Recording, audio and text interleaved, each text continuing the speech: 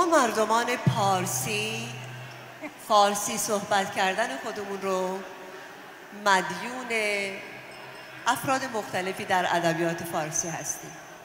یکی از اونها فردوسی است. فردوسی سالها پایداری کرد سخت کوشی کرد تا بتونه زبان فارسی رو حفظ بکنه. تا من و شمای ایرانی من و شمای پارسی امروز به زبان شیرین فارسی با هم دیگه صحبت بکنیم و بتونیم لذت ببریم از گفتگو با این زبان زیبا.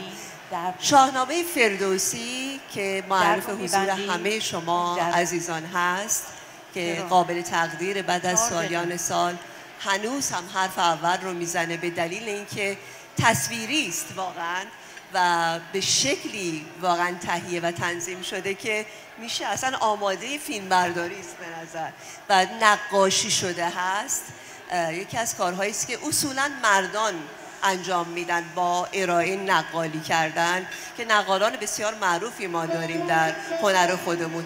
بانوان میشه گفت که اگر من بخوام به راستی به راحتی این رو بگم یکی از یگانه ترینوش رو ما در اینجا داریم. گردآفرید عزیز که اسمش هم به زیبایی است و برگرفته شده از شاهنامه که برای شما الان اجرا می‌کنه. قطعه نوروزی رو بسیار خوش آمدی. چقدر افتخار دارم که در کنارت هستم. گردا فرید جان و عیدت مبارک باشه. شما هم خجسته باد بر شما.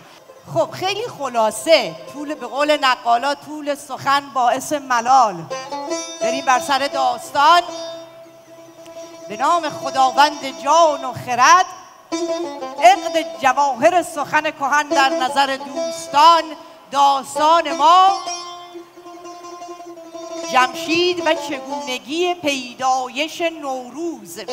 جمشید از شاهان فرهمند شاهنامه است که اساس تمدن و شهرنشینی رو بنا کرد. چون همه گونه کار کرد؟ برای مردمان دیگر درد و رنج نبود غم نبود.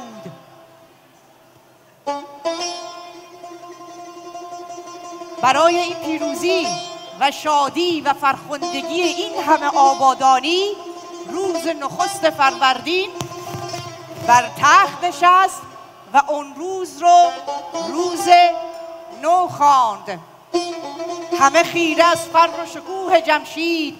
دور او جمع شدند و جشن گرفتند. بشنویم بهر طویل بزم جمشید شاه.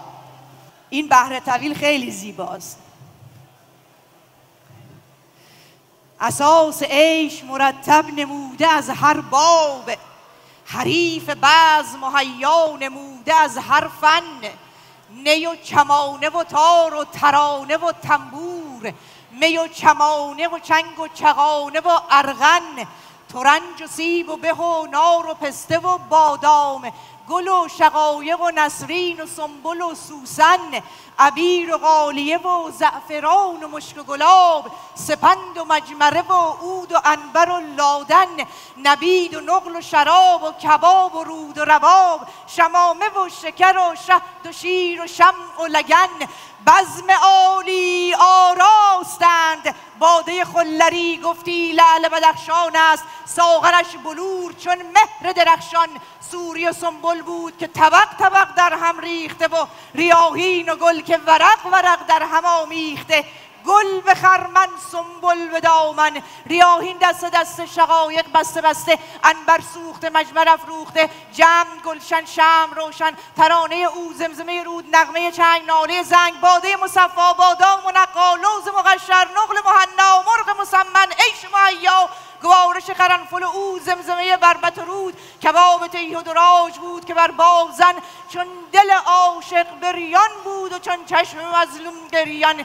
چنگ هندی بربت سخدی رامشگر کابلی بازیگر کشمیری ناله نی پیاله می نوازندگان و خوانندگان جا در جا صف در صف کف در کف چنگ در چنگ صد در صد. سنج در موج زنگ در انگشت ربا در کنار بربت در دامن ناله نای. زنگ زنگ چنگ رنگ رنگ تار. نقل اختر زهره مطرب ساقی مجلس هلال. می طرف ساقی قمر جام بلورش آفتاب. این قسم بزمی برای نوروز جم. جمشید شاه آراستند.